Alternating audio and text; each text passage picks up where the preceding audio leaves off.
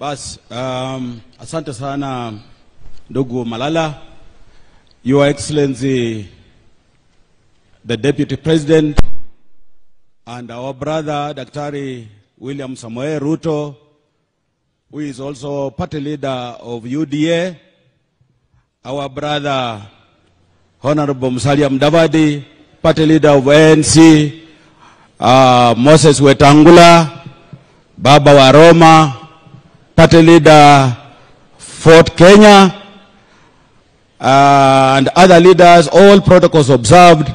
Delegates wote wenye wako hapo, hamjambo. Bwana Yesu asifiwe. Bas, uh, Your Excellency, yangu yatakuwa mafupi sana. Kwanza wacha niseme kwamba nimekuwa kwa hizi forums za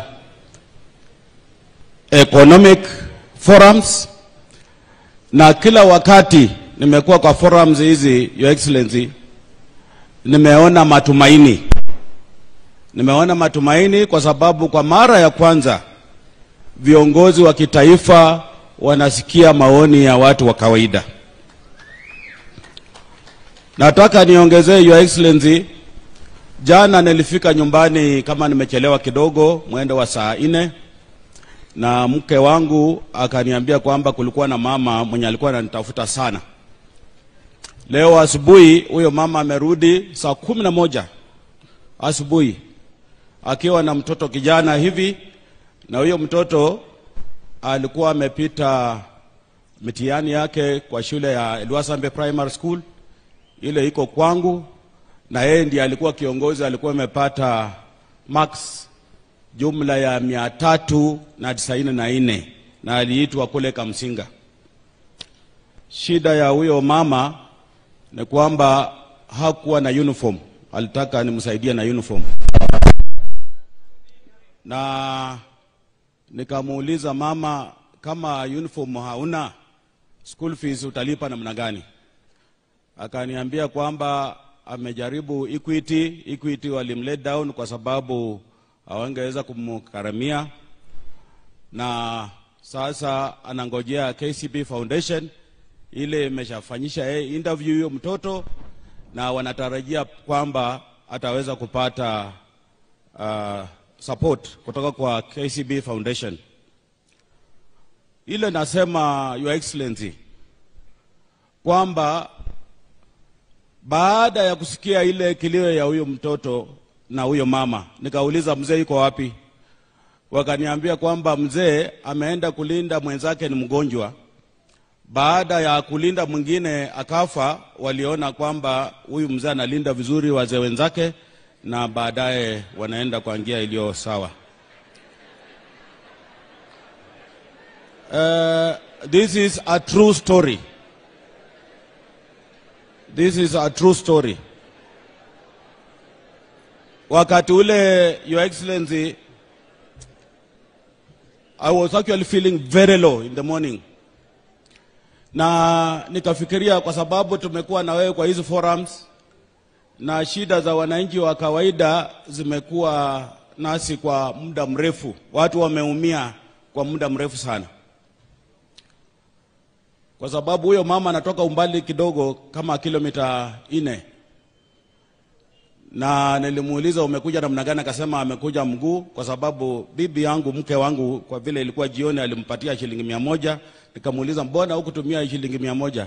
Akasema kwa sababu bodaboda wameongeza bei ya nauli, aliweza tu kwenda one way, na sasa kurudi hangeweza kupata vile anaweza kurudi kutumia bodaboda.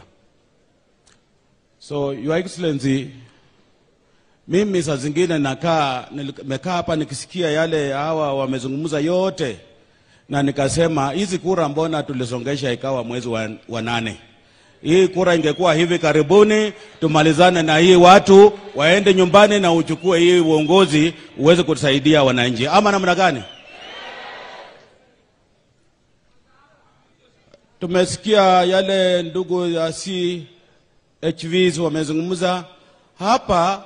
Tuko na wa uh, watu kutoka kwa idara ya afya hawajakuambia maneno yao, kwa sababu huko wako kama casuals, hawajaandikwa, wamekaa hapo tu ni kama makarani, na huku wanatakana wawe wanatibu wagonjwa. Your Excellency, this country is in a pathetic state, and the faster you took over the leadership of this country, the better for all of us.